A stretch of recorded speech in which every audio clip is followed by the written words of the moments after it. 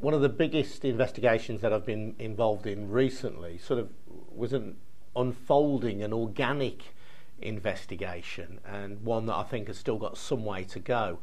Uh, it started off on a program I do called Five Live Investigates and we heard about schools uh, that were being uh, offered laptops and other valuable computer equipment but being told that they would get it for nothing and the schools not unreasonably said well why am I getting this equipment for nothing uh, and it turned out that the salespeople said, well, the reason you're getting it for nothing is because certain manufacturers want a, a test bed, uh, they want flagship schools, so if they can get it into your school, they'll then be able to sell it on to other schools. So uh, this seemed a plausible reason for the schools.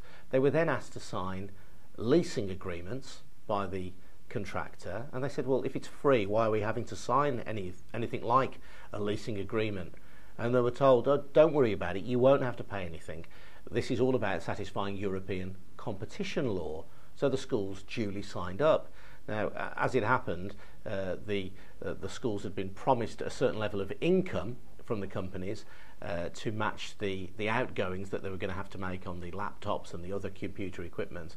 The companies who had guaranteed the money then went into administration, went into liquidation, so there was no money coming in, but the schools were then committed to spending out the money on the leases for the equipment. Not only that, they found that the amounts that they'd signed up for were vastly inflated. So, for example, modems, which many suppliers provide free, were being provided for on this lease at £350 a time.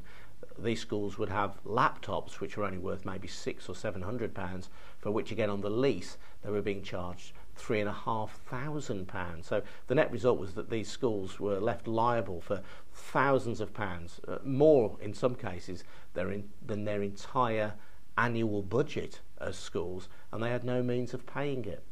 Now that particular investigation uh, came to us through a trade magazine, a magazine in fact called Inside Leasing. So it had been publicised, but it had never been featured in any mainstream news outlet and hadn't been picked up in any way. And uh, we decided to make inquiries, spoke to the journalist who had written the story. He was very helpful. Journalists often are, and uh, other journalists working in similar fields but who are not direct competitors of yours can often be very helpful. They've got nothing to lose, and people generally are kind and generous when they've got good stories to tell and when they've had the chance to already tell it first. So we had a, a good insider in the world of inside leasing. We then found out that there were similar leasing scams going on involving, for example, golf courses and the sale of golf equipment through leases. Again, the golf courses would be told they'd get a certain piece of equipment, that they wouldn't have to pay for it. Uh, there was a, a screen that you could fit to a golf buggy, and they were told that the screen would be paid for by adverts that would be placed on the screen. However, the company providing the adverts went down. That left the companies liable for the rental of the of the screens, but with no external means of financing the loan of them. Uh, many of the big banks were involved.